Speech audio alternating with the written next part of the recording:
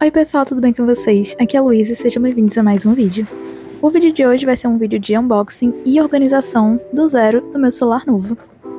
Eu comprei o Samsung Galaxy S23, o normal, porque tem o S23 Plus e o S23 Ultra, eu comprei o normal mesmo. Comprei no site da Samsung mesmo e chegou em mais ou menos uns dois dias. Por sorte, meu namorado tava em um grupo de promoções e aí ele conseguiu para mim um cupom de desconto que valeu super a pena no Galaxy S23 no site da Samsung. Então, eu comprei o de 512GB e saiu mais barato do que um de 128. Bom, inicialmente quando a gente abre a caixa, vem essa caixinha menor e nela vem o manual de instruções, né? No caso, esse guia rápido, porque hoje em dia o manual do usuário vem dentro do próprio celular. E vem também o cabo, só que Dessa vez, nesse celular, o cabo ele tem duas saídas USB-C, no caso, não tem, não tem uma USB-A e uma USB-C. São duas USB-Cs. Vem também esse bagulhinho, que eu esqueci o nome, mas basicamente para abrir, né, aquele espaço, aquele slot do chip. E o celular em si, ele tem 6.1 polegadas e eu comprei o meu na cor creme. Ele tem essas três câmeras e eu achei muito bonitinho. Aí dentro da caixa maior também vem uma caixinha, que eu fiquei muito feliz que ela veio porque eu tava com medo de não vir com isso, que é o o carregador em si, né, o que vai na tomada. Ele também é desse com entrada USB-C e ele é o super fast charging, ou seja, ele tem 25 watts. E agora eu vou falar rapidinho de algumas especificações enquanto eu tiro os adesivos. Esse modelo tem um processador octa-core, ele tem 8 GB de memória RAM e 512 GB de armazenamento. A tela dele é com a tecnologia AMOLED e tem 6.1 polegadas, ou seja, ele é bem menorzinho comparado aos modelos de hoje em dia. A taxa de atualização máxima da tela é de 120 Hz e, acredite, é muito bom rolar a tela nele. Ele tem três câmeras traseiras de respectivamente 50, 10 e 12 megapixels e uma câmera frontal de 12 megapixels. E a bateria dele é de 3.900 mAh, o que não é muito, na verdade achei bem pouco.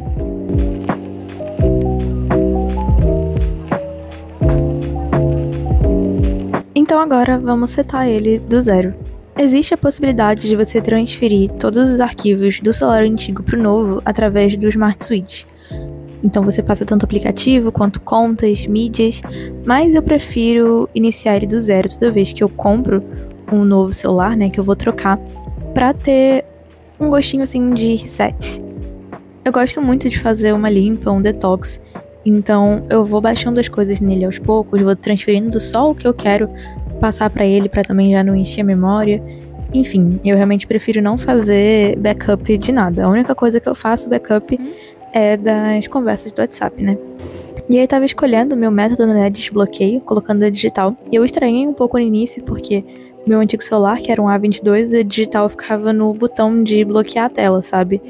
E aí no S23, o botão, a digital, né, o local da digital fica na tela. E não é nem lá embaixo na tela, como alguns outros modelos, como por exemplo o A54. É bem mais pra cima, quase. Eu exagero falar quase no meio, mas assim, quase no meio da tela. Bom, então configurações iniciais feitas e agora o celular está prontinho para uso. E a primeira coisa que eu fiz foi baixar os principais aplicativos que eu uso no dia a dia.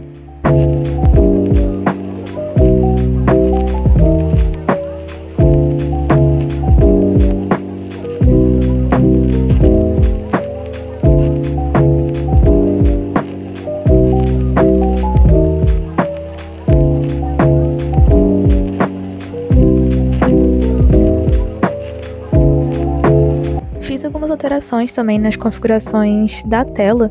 Então eu aumentei o tempo que a tela fica acesa, porque sempre desliga muito rápido a luz de fundo e eu não gosto disso. E eu também coloquei a proteção ocular, porque eu prefiro do que deixar essa luz azul, sabe? Deixa uma luz amarela mais confortável.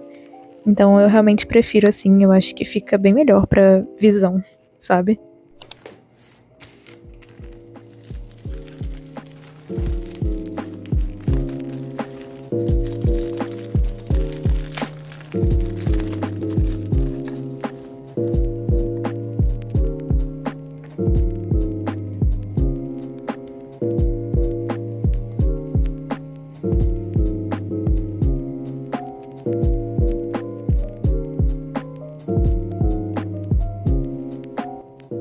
aí, continuando a organização, eu fui apagar né, desinstalar os aplicativos que vieram no celular e que eu não tenho costume de usar. Porque aí eles só ficam ocupando espaço de tela e de armazenamento. O próximo passo foi trocar, né, definir meu papel de parede. Eu dei uma fuçada no Pinterest um pouco antes e aí eu baixei para usar na tela de bloqueio esse papel de parede dos Beatles, com esse azulzinho no fundo, achei essa foto super bonitinha. E aí dá para você trocar, né, ajustar a tela de bloqueio do, pro design que você quer, de fonte e de estilo de como ficam as horas, as notificações e várias outras coisas. Eu acabei deixando do mesmo jeito que veio, porque eu preferi. Aí eu peguei uma foto lisa de um azul que se assemelhava ao máximo com o azul do fundo dos Beatles, né, dessa tela de bloqueio, e deixei na tela inicial. Como já tinha os aplicativos, eu não quis que ficasse uma coisa muito visualmente poluída. Então prefiro uma coisa mais clean pro papel de parede e deixei é, só essa cor lisa mesmo. E aí eu defini quais aplicativos eu deixaria nessa barrinha inferior. Eu sempre gosto de deixar os que eu mais uso. Então, o telefone, o Instagram, o WhatsApp e a câmera. Porque aí, sempre que eu precisar, eles já vão estar ali embaixo, não preciso ficar procurando. Depois fui adicionar alguns widgets. Eu adoro ter o widget de clima, porque eu tô sempre olhando a previsão do tempo antes de sair de casa. E aí eu coloquei esse. Eu deixei ele com um fundo branco, mas com uma certa transparência. Porque achei que ficou mais bonitinho. E aí eu fui adicionando na tela inicial o restante dos aplicativos.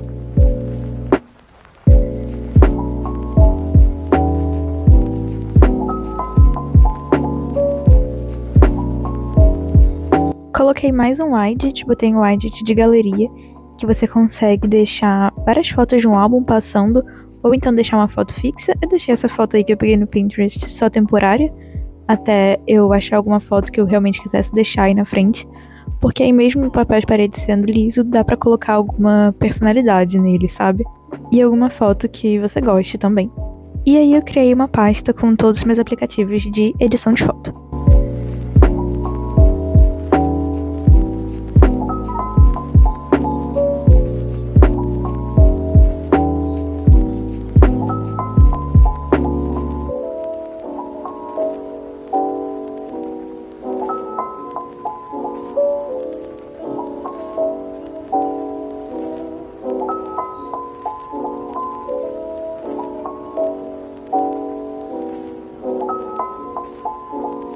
E cara, eu adoro widgets.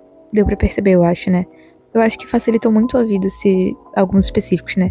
Aí, por exemplo, eu tava colocando esse de calendário, que ele mostra o dia que tá, né? E todos o, o restante do dia, né? Mostra o calendário do mês. E aí, nesse espaço do lado, se você tiver algum compromisso no dia, ele fala qual é o seu compromisso, que horas que é. E também coloquei um widget de busca, porque eu sempre gosto de ter essa barrinha de pesquisa do Google aí. E aí fui colocando o restante dos aplicativos e depois eu dei uma reorganizada nesses aplicativos para deixar o que era prioridade na página inicial.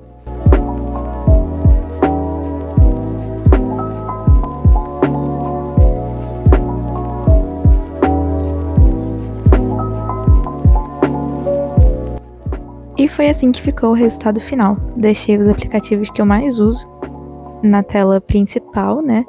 E aí, nessa segunda página, os que eu uso com um pouco menos de frequência. E aí, eu coloquei mais dois widgets: um do Spotify e um que mostra como está o seu armazenamento em memória RAM.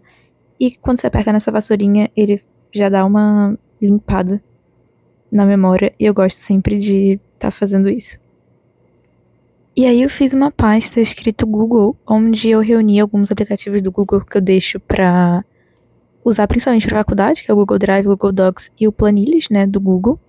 Tenho também essa pasta UF com os aplicativos da faculdade em si e a pasta de fotos que eu falei com os aplicativos de edição de foto. O restante eu deixei fora de pasta. E aí é só um lembrete de você me seguir no Instagram, caso você ainda não me siga lá. O arroba é o mesmo daqui, ScienceLu, e tem várias postagens com vários conteúdos interessantes desde o ensino médio até a faculdade. Então, não deixe de me seguir por lá. E esse foi o vídeo, espero que vocês tenham gostado. Se gostou, não deixe de curtir aqui e se inscrever para não perder os próximos. Tchau, tchau!